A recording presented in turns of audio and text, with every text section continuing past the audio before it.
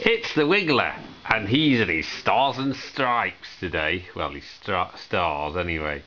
Ooh. Oh, ah. Oh,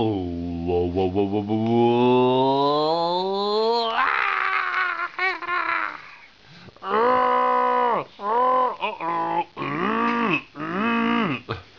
Oh. Would you like to play with the groan tube, Jack?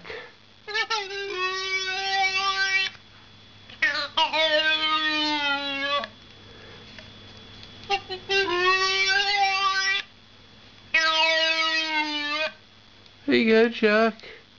He's a bit afraid of the groan tube. He touches the groan tube, he hits the groan tube. But does he play with the groan tube? No.